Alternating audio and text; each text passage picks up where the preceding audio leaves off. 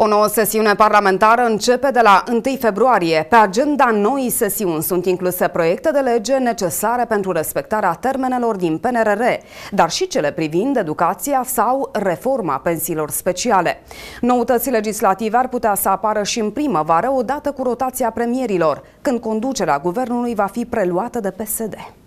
Noua sesiune parlamentară începe la 1 februarie cu o serie de proiecte care vizează direct pe români. Printre cele mai importante se numără reformele în educație, sănătate și pensii. Proiectele legislative pentru Partidul Național Liberal și implicit pentru coaliția de guvernare sunt uh, legile educației, este știut faptul că, uh, pe lângă faptul că este un jalon, un PNRR, există și o comandă socială serioasă vis-a-vis -vis de legislația care va reglementa educația în România, știuți în faptul că de cele mai multe ori aceste modificări au făcut, nu au făcut altceva decât să, încurce, decât să uh, descurce lucrurile în unul dintre cele mai importante sectoare ale vieții oricărui țări, sănătatea și educația. Iată că Uh, unul dintre obiective este legat de reglementarea legilor educației.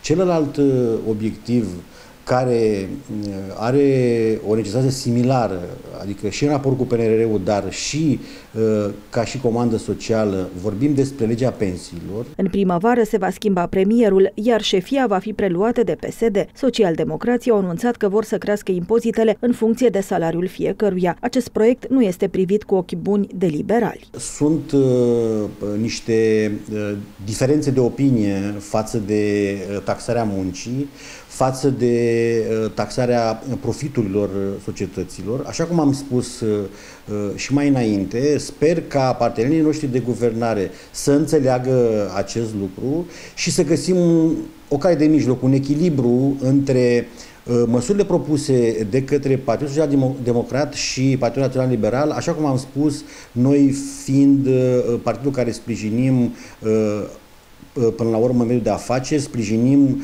ca acei oameni care muncesc mai mult să câștige mai mult. Pe de altă parte, nici suprataxarea performanței în afaceri nu este susținută de reprezentanții Partidului Național Liberal. Toate acestea vor fi dezbătute de la 1 februarie în Parlament.